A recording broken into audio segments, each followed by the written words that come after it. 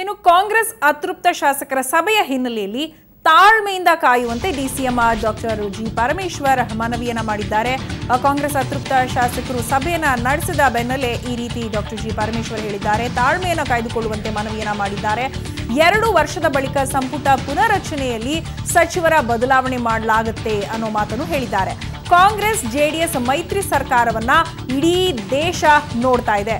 ಮೈತ್ರಿ ಸರ್ಕಾರ ಚೆನ್ನಾಗಿ ನಡೆಯುವ ಕಡೆ ಅತೃಪ್ತ ಶಾಸಕರು ಗಮನ ವಹಿಸಬೇಕು ಅನ್ನೋ ಮನವಿಯನ್ನ ಮಾಡಿದ್ದಾರೆ. ಹಾಗೆ ಆದಷ್ಟು ಶೀಘ್ರವಾಗಿ ಖಾಲಿ ಇರೋ ಆರು ಸಚಿವ ಸ್ಥಾನಗಳನ್ನ ಭರ್ತಿ ಮಾಡ್ತೇವೆ. ಕಾಂಗ್ರೆಸ್, ಜೆಡಿಎಸ್ ಮೈತ್ರಿ ಸರ್ಕಾರ ಹೀಗೆ ನಡೀತಿದೆ. ಇದನ್ನ ಇಡೀ ದೇಶವೇ ಗಮನಿಸ್ತಾ ಇದೆ. ಮೈತ್ರಿ ಸರ್ಕಾರ ಚೆನ್ನಾಗಿ ನಡೆಯೋ ಕಡೆ ಅತೃಪ್ತ ಶಾಸಕರು ಗಮನ ವಹಿಸಬೇಕು. ಜೊತೆಗೆ ಈಗ ಖಾಲಿ ಇರುವಂತಹ ಆರು ಸಚಿವ ಸ್ಥಾನಗಳನ್ನ ಆದಷ್ಟು ಶೀಘ್ರವಾಗಿ ಭರ್ತಿ ಮಾಡ್ತೇವೆ ಅಂತ ಬೆಂಗಳೂರಿನಲ್ಲಿ ಉಪಮುಖ್ಯಮಂತ್ರಿ ಡಾಕ್ಟರ್ ಜಿ ಪರಮೇಶ್ವರ್ ಹೇಳಿಕೆಯನ್ನು ಕೊಟ್ಟಿದ್ದಾರೆ. ಇನ್ನು ಆರು ತಿಂಗಳಿಗೊಮ್ಮೆ ಸಚಿವರ ಕಾರ್ಯವೈಖರಿ ಹಾಗೆ ಪರಾಮರ್ಶೆ ಮೌಲ್ಯಮಾಪನ ನಡೆಯಲಿದೆ ಅಂತ ಕೂಡ ಹೇಳಿದ್ದಾರೆ. ವರಿಷ್ಠರು ತೀರ್ಮಾನ ಮಾಡುವಾಗ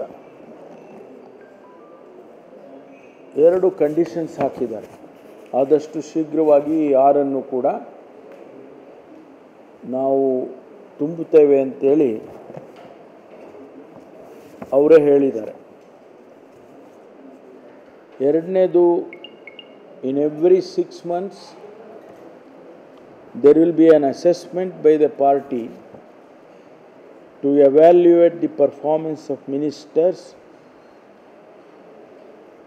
and ministers will be changed depending upon their performance and according to the decisions of the party whenever it is needed ಇದು ನಾನು ಹೇಳಿರೋದಲ್ಲ, ಇದು- ಅಖಿಲ ಭಾರತ ಕಾಂಗ್ರೆಸ್ ಪಕ್ಷದ ನಮ್ಮ ಲಿಸ್ಟ್ ಅಪ್ರೂವ್ ಮಾಡಿದಾಗ ಅದಕ್ಕೆ ಹಾಕಿರ್ತಕ್ಕಂಥ ಕಂಡೀಷನ್ಸು ಅದರಿಂದ